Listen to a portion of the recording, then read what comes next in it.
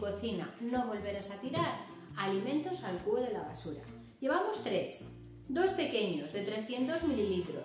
¿Cuántas veces te queda un poco de una salsa, has abierto una lata de atún, de maíz, de cualquier cosa enlatada que abres? Quítalo de la lata y guárdalo en un recipiente totalmente hermético. Una fruta, fantástico, porque no se oxida, es el, para mí el tamaño ideal para los peques cuando le queremos mandar fruta al cole porque es hermético y no se les va a salir absolutamente nada.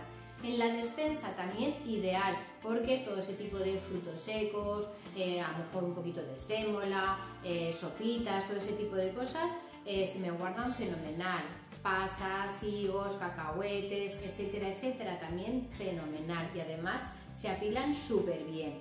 Luego tenemos un poquito más grande, litro y medio, para que ya cuando guardamos más cantidad de comida en nuestra nevera. La ventanita transparente para que enseguida localices lo que tienes dentro. Alimentos cocinados, nunca alimento crudo como carne y pescado, ¿vale?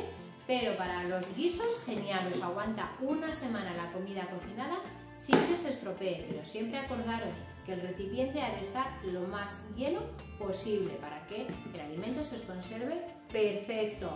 La fruta, genial, esa sandía, quítale la cáscara, la tiras y aquí te guardas solamente lo que es la fruta, la sandía, el melón, la piña, se te va a conservar genial, importante, no te genera olores en la nevera. Y además, un pequeño truquillo, cuando un alimento se estropea, que a lo mejor me he olvidado que lo tengo en la nevera y se me estropea, la tapa se abomba y se abre. Eso es una señal de que no es aconsejable consumir el alimento que tienes dentro. O sea que este lote de tres es perfecto